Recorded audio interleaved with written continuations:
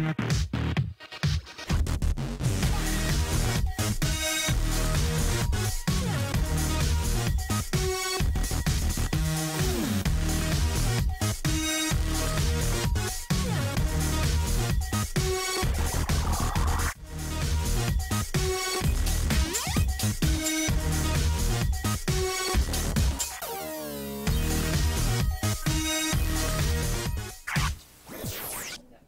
Good morning, McCandless. We are so excited you're here today. I'm Kira, And I'm Emma. and, And this, this is is MTV. MTV. Today is Tuesday, February 2nd. Please stand for the flag salute led by Mrs. White, second grade class. One.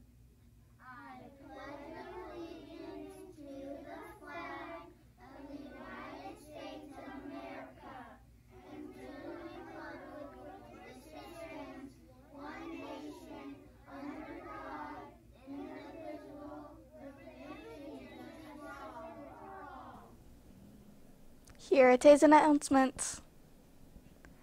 This week is, is School Counselors Week. We would like to give a shout out to Miss Taylor for working so hard for our McCandless students. Have a great week, Miss Taylor. Thanks to your hard work, we now have almost all of our students back at school full time. Remember to social distance and keep your masks on. Together, we will get through this. Coming up a week from today, on February 9th, is Gambino's Night. Please plan to attend for my, by dining and are ordering out a portion of the proceeds from that night, including tips, will go to the McCandless PTO. Every little bit, bit helps. There will be no school this Friday, February 5th. Teachers and staff will be in meetings. Enjoy the three day weekend. Here's the joke of the day from Caden and Miss Almond's class. What do snowmen do on the weekend? I don't know what. Chill out. Have a, have a funny funny joke you want to share on MTV. Write it down and share it with your teacher.